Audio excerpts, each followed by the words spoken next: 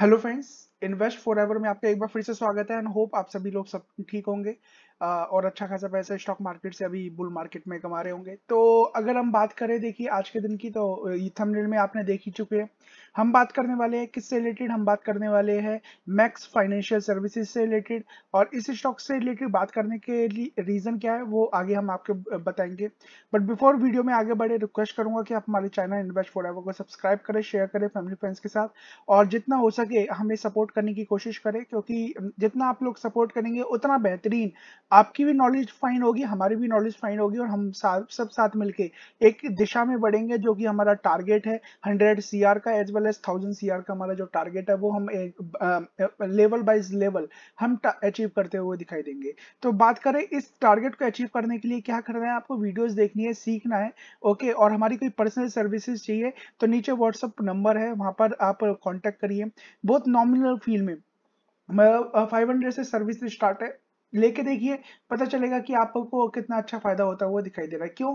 क्योंकि अगर हम देखें तो देखिए दो तीन दिन पहले यहाँ पर हमने वीडियोस बनाई थी, यहाँ पर देखिए हाईकल ओके, एक दिन पहले ही वीडियो बनाई थी हाईकल अगर यहाँ पर देखेंगे, आज के दिन छह परसेंट की जंप है।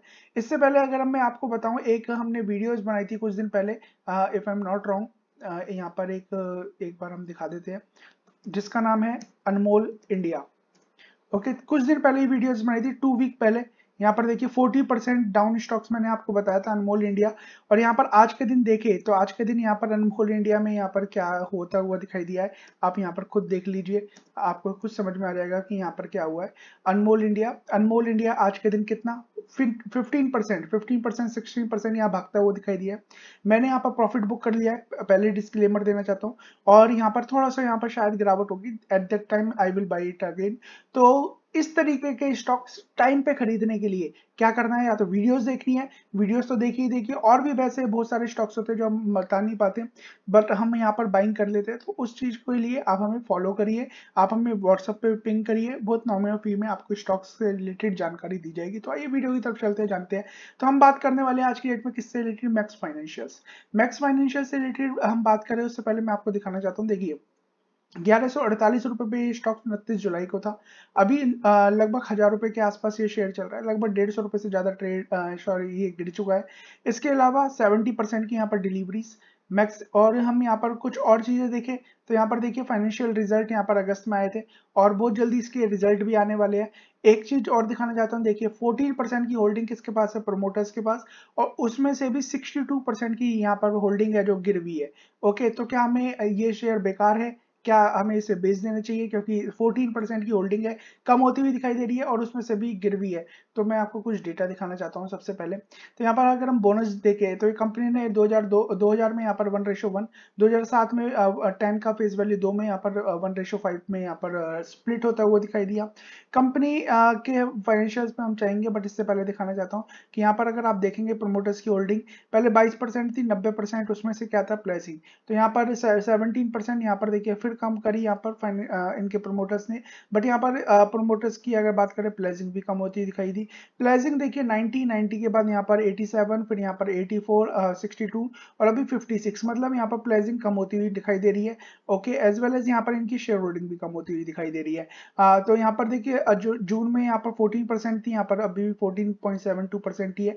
और यहाँ पर बट प्लेजिंग यहाँ कम होती हुई दिखाई दे रही है। तो जहाँ पर प्लेजिंग कम होना धीरे धीरे तो कहीं ना कहीं पॉजिटिव फैक्टर होता है पहली बात। दूसरी बात यहाँ पर शेयर होल्डिंग पैटर्न यहाँ पर कम है बट मैं यहाँ पर मैं आपको कुछ पैरामीटर्स दिखाना चाहता हूँ। तो हम यहाँ पर यहाँ पर जाएँगे मैक्स फाइनेंशियल्स पे। तो यहाँ पर आपको चीज़ें समझ में आ, आने लगेगी। सीधे चलते हैं पहले। तो यहाँ पर प्रोमोटर्स की होल्डिंग की बात करें, देखिए यहाँ पर 2018 में 28 परसेंट थी।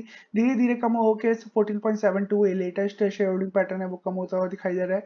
बट अगर हम बात करें तो देखिए यहाँ पर 19 परसेंट, यहाँ पर 17 परसेंट थी तो यहाँ पर 19 परसेंट एफ़ के पास थी। तो यहाँ पर 17 परसेंट से 14 परसेंट हुई लगभग लगभग अगर हम बात करें सेवन परसेंट की हिस्सेदारी यहाँ पर इन्होंने कम करी। तो यहाँ पर सेवन सॉरी थ्री परसेंट की हिस्सेदारी कम करी बट अगर देखे तो लगभग एट परसेंट की हिस्सेदारी किसने खरीदी है? यहाँ पर एफ़ ने यहाँ पर खरीदी है और यहाँ पर थोड़ी सी हिस्सेदारी एक परसेंट के आसपास की हिस्सेदारी यहाँ पर डीआईएस ने बेची है और पब्लिक के हाथ में से भी हिस्सेदारी निकल रही है। याद रखिए पब्लिक के पास भी कम होना, ये एक बेकार बात एक अच्छी बात होती है कि पब्लिक के पास ज़्यादा होती है होल्डिंग तो याद रखिएगा, कहीं ना कहीं वहाँ पर डर लगा रहता है। बट पब्लिक के पास से जब शेयर होल्डिंग पैटर्न या शेयर्स निकलते हुए दिखाई दिए ना तो समझ लीजिएगा वो शेयर भागने वाला है। डीआईएस की बात करें तो डीआईएस के पास लगभग फिफ्टी परसेंट ही है। एफआईएस की होल्डिंग कंटिन्यूसली यहाँ पर बढ़ती हुई नज़र आ रही है। प्रमोटर्स की होल्डिंग कम हो रही है। तो यहाँ पर देखिए, बेशक से प्रमोटर्स के पास होल्डिंग कम हो रही है बट अच्छे हाथों में गई है। एफ़ के हाथों में गई है यहाँ पर और डी के हाथों में गई है। तो ये एक पॉजिटिव फैक्टर है नेगेटिव फैक्टर नहीं है। तो इस चीज़ को याद रखिएगा। इसके अलावा हम बात करते हैं कंपनी तो कंपनी करती क्या है? तो कंपनी जो बिज़नेस में है वो मैक्स इंश्योरेंस के बिज़नेस में है। ओके okay, यहाँ पर अगर हम देखें engage in the business of invest investment in its subsidiaries मतलब ये कंपनी इन्वेस्टमेंट के में भी कंपनी काम करती हुई नज़र आती है। और provide management advisory service to the group companies मतलब इनकी कुछ ग्रुप कंपनीज़ है उन्हें यहाँ पर मैनेजमेंट एडवाइजरी सर्विसेज़ प्रोवाइड करती हुई दिखाई देती है। लार्ज कैप कंपनी है, चौथी हज़ार दो सौ बानवे करोड़ का मार्केट कैप है। पी एक सौ नौ के पी पे हाईएस्ट एवर यहाँ पर पी पे कंपनी चल रही है। आर की बात करें 21 परसेंट और 15 परसेंट के आर है ठीक ठाक आर है डेट फ्री कंपनी है प्लेजिंग की बात हमने ऑलरेडी यहाँ पर कर ली है। फेस वैल्यू यहाँ पर देख सकते हैं। इसके अलावा मैक्सिमम चार्ट पैटर्न की बात करें तो मैक्सिमम चार्ट पैटर्न देख सकते हैं आप। मैक्सिमम चार्ट पैटर्न पॉजिटिव है और जहाँ पर मैक्सिमम चार्ट पैटर्न यहाँ पर ऊपर की तरफ़ जाता हुआ दिखाई देता है ना, वो पॉजिटिविटी झलकती है। बट एक चीज़ यहाँ पर दिखाना चाहता हूँ कि कंपनी भागती तो है बट गिरावट भी आ, साथ साथ होती रहती है। देखिए ये भागी ये गिरावट यहाँ पर भागी ये गिरावट फिर भागी फिर गिरावट फिर भागी फिर गिरावट फिर यहाँ पर एक बेहतरीन गिरावट फिर भागी फिर एक साइड बेस जोन फिर भागी फिर यहाँ पर एक अच्छी खासी गिरावट फिर भागी यहाँ पर फिर गिरावट फिर भाग रही थी यहाँ पर पैंडमिक आया तो पैंडमिक के बाद कंपनी ने यहाँ पर आपके पैसे को तीन गुना कर दिया। तो इस तरीके से यहाँ पर दिखाई दे रहा है। इसके अलावा हम देखते हैं क्वार्टरली रिज़ल्ट तो क्वार्टरली रिजल्ट्स देखेंगे आप। तो 2018 में यहाँ पर 4,315 करोड़ रुपए की सेल्स थी। कंसोलिडेट नंबर है यहाँ पर। और यहाँ पर फिर ये बढ़ती हुई नज़र आई बट 2019 के बाद यहाँ पर कम हुई। फिर यहाँ पर अच्छी खासी बढ़ती हुई नज़र आई और बढ़ते बढ़ते यहाँ पर मार्च 2021 में 9,760 करोड़ रुपए की सेल्स थी। और अभी की बात करें जून की तो जून में यहाँ पर ये कम होती हुई दिखाई दी।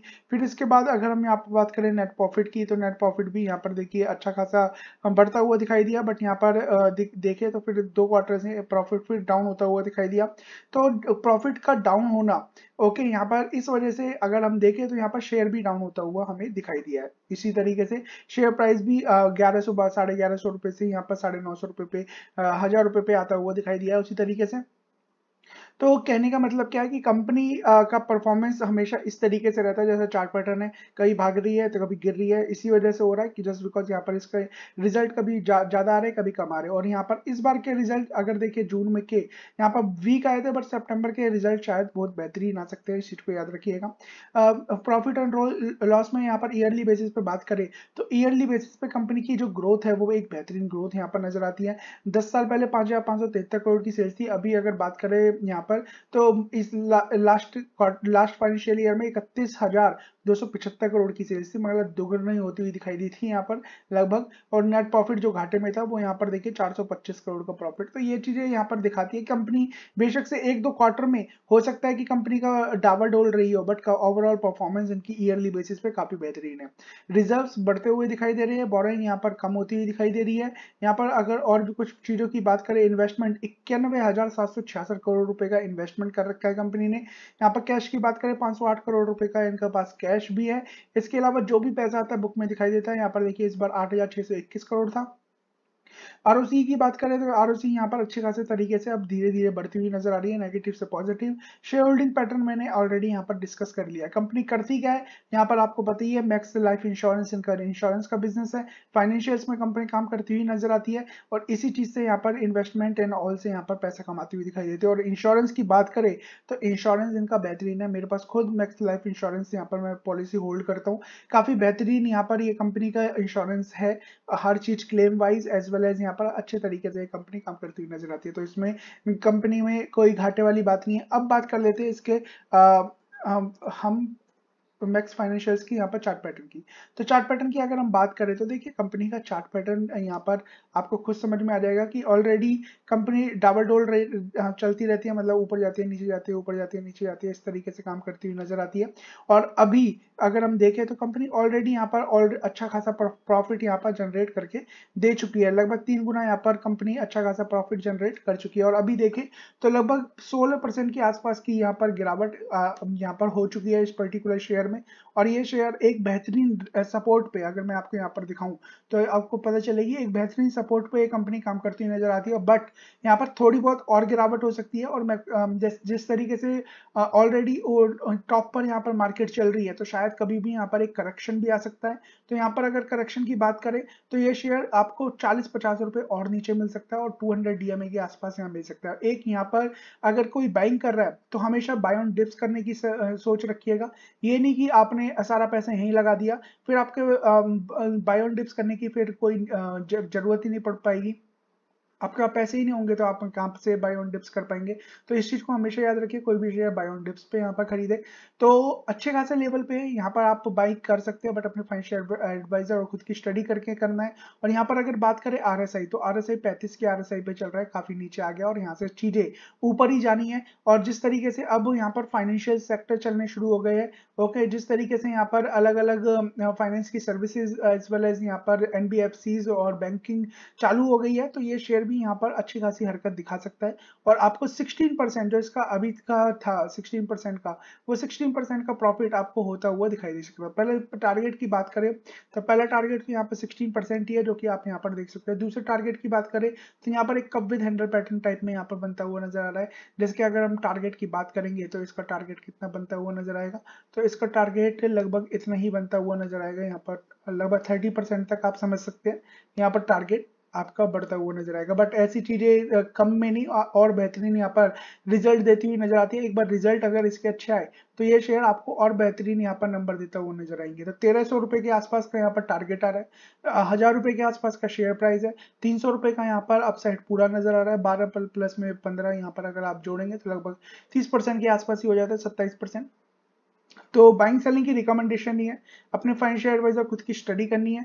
और सीखना है। सीखने के लिए इसी तरीके से चीज़ें यहाँ पर देखी जाती है कि किस तरीके से आप यहाँ पर चीज़ें देख सकते हैं। एफ़ आई होल्डिंग बढ़ा रहे हैं। डी के पास अच्छी खासी होल्डिंग है और प्रमोटर्स के पास हो या ना हो डजेंट मैटर यहाँ पर पब्लिक के पास से हिस्सेदारी जा रही है तो यहाँ पर ये शेयर कभी भी मूव दे सकता है और अच्छा खासे तरीके से भाग सकता है। मैं होता तो मैं यहाँ पर बाइंग करता ओके और मैं यहाँ पर बाइंग भी करूँगा but I am raising cash okay अभी मार्केट से धीरे धीरे प्रॉफिट बुक करके कैश ताकि नीचे लेवल पर जब चीज़ें गिरेगी at that time I will buy all those particular stocks जो कि नज़रों में है एज वेल एज यहाँ पर अच्छे लेवल पर नज़र आ रही है। तो यहाँ पर वीडियो को लाइक करें कमेंट करें शेयर करें। हाँ, हमारे चैनल को सपोर्ट करें। हमारी सर्विसेज़ चाहिए तो आप नीचे डिस्क्रिप्शन में लिंक है।